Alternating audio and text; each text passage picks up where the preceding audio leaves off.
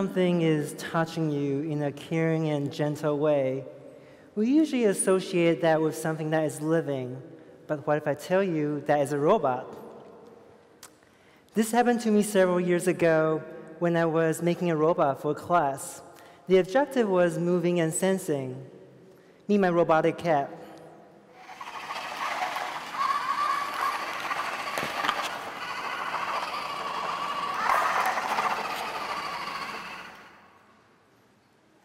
I programmed this robot to find me and snuggle around my feet, like a real cat would do. But while it was snuggling my feet, it felt like, it felt like it's alive and tried to get my attention. It was strange because I constructed this robot from scratch, and I know its mechanism and algorithm. I shouldn't have any attachment for it. I started to look into what that complicated feeling is, and as it turns out, some philosophers call this mental commitment or mental projection.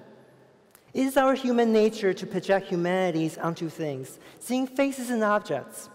This kind of behavior might seem playful or silly, but I see a design opportunity to explore. I use the term robotic intimacy technology to describe what I make. I do this to instigate comfort versus discomfort, sincerity versus insincerity, and real versus virtual. Most of my work are serious, funny, and sometimes dark and fictional based on my personal encounters. For example, I took the conventional gesture of comforting someone and programmed that into a robot to show how meaningful and meaningless the patting gesture can be. Through mental projection and repetition, met my OK therapist.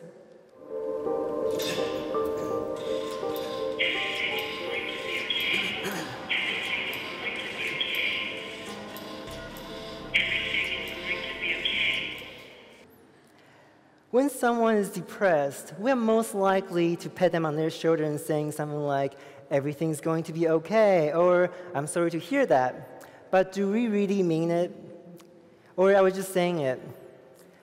What is intimacy when it's expected of you? Is the robot more honest in this case?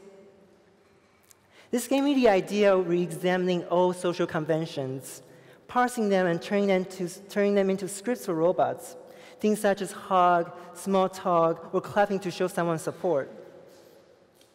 In some contexts, the robotic intimacy technology might be superior to human because there are no humans involved. Therefore, there's no social pressure. You don't need to think about whether the person is sincere or insincere, or feel like someone is judging you. As comedian and writer Larry David said, every social situation is a potential nightmare, like right now, speaking in front of 400 people and the click not, work, not working. I have to think about, am I doing okay? Am I making enough eye contact? But what is intimacy without all the associated risks? This is why, in preparation for this talk, I made this TEDx audience simulator. Here's another example. I recreated the sensation of Team Spirit with four robotic arms. Meet my Team Spirit generator. Team Spirit generator activated. Please hold your position while I generate Team Spirit. Go team. Go team. Go team. Go team. Go team. Go team.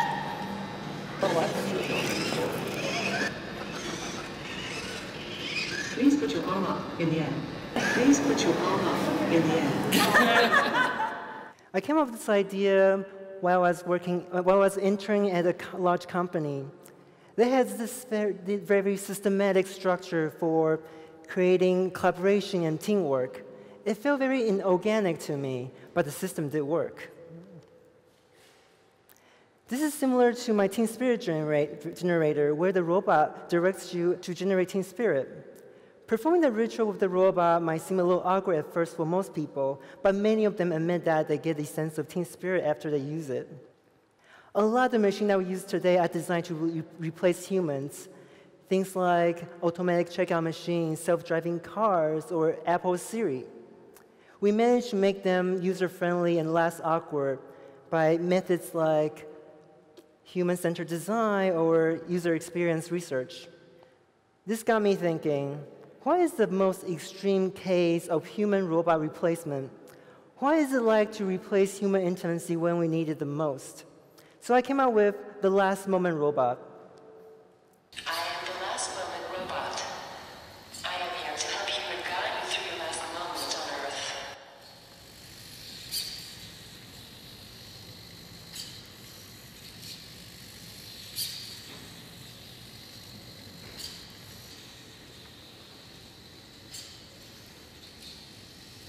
It's a robot that cares for you and guides you pro- through process of dying. When I was designing this device, I was thinking about my grandmother. She lived 8,000 miles away. What if I couldn't see her for the last time?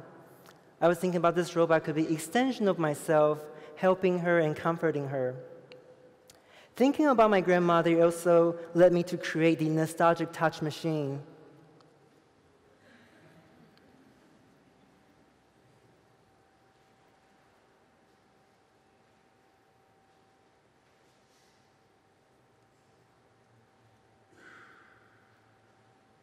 This is a machine that can record hand gestures of our loved ones and play them back. I recorded my grandmother's gesture while she was alive, but after she passed away two months ago, I could not bring myself to use the machine because it's either going to feel too real to me or it's not gonna, the robot's not going to be able to replicate her gesture. Going back to the last moment in robot, there was this interesting moment where I was playing a doctor in this installation, and someone pointed out that the robot is actually more humane than I am because I was treating the individual patients as if I want to get them in and out of the hospital. Sounds familiar? While the device revealed the lack of human support, for a dying person, in some sense, the robot is empowering the individual, helping them, helping them through a difficult time. After the work went viral on the internet, I started to get email like this one. People wanted to know if it's available for purchase. It was very surprising to me that people want to buy this device. I didn't know what I was supposed to do. Is having this better than nothing? If I were to sell the robot, I could be encouraging people to die alone. And if I don't sell the robot, people could be suffering from dying by themselves. Maybe the solution is that people should just make their own robots. Based on the idea of do it yourself or self help books, I created a series of robotic construction kit that people would assemble. I call this Making Friends by making them. Me, friend one.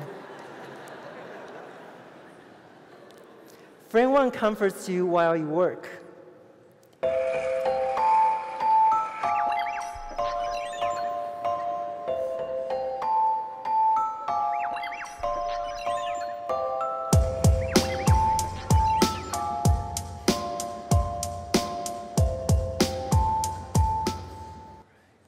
Friend two sits on your shoulder and gently touches you.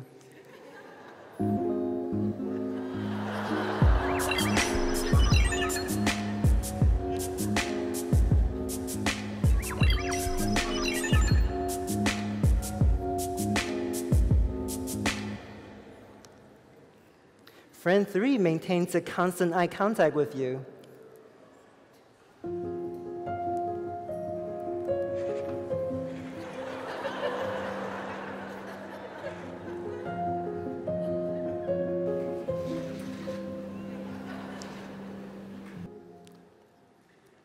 Friend four vibrates when you pat them.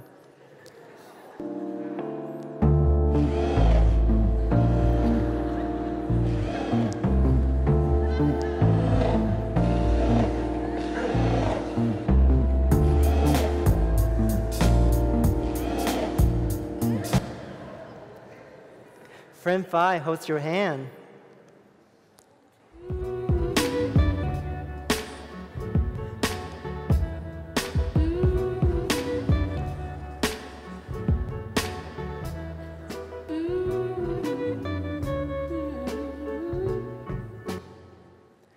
I attempt to extract things that we seek in a friendship. For example, someone that cares for us, someone that understands us, someone listens to us, someone pays attention to us.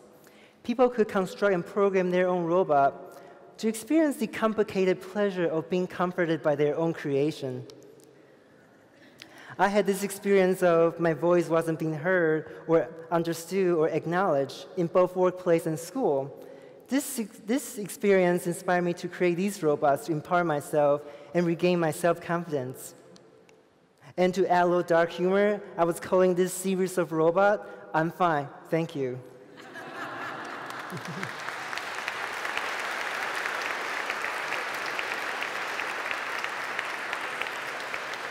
With these devices, you can upload your own sound so you can hear what you want to hear. You can also program how you want to be touched. There are reasons for my simplistic approach in terms of form and function. We often describe high tech devices as sexy and slick. And I want to find out how much I can push our imagination to project intimacy. To test this, I created the cardboard friend.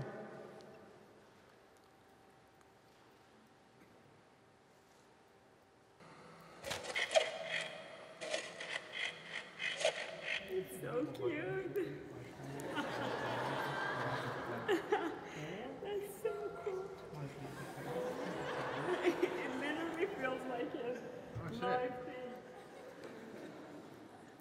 The Cardboard Friend is a modular robotic construction kit made with cardboard, motors, and simple circuits. It does take some effort for people to project human qualities to it, but once the robot starts to move, people see it as an adorable animal. From making so many robots, at one point I realized while I designed the robot to comfort other people, it is also a way for me to reach out and connect with others. For instance, my grandmother. We all want to be heard, understood, and acknowledged. The technology of the future can probably do that for us, creating a sense of intimacy for us. However, we have to ask ourselves, what is intimacy without humanity? Thank you.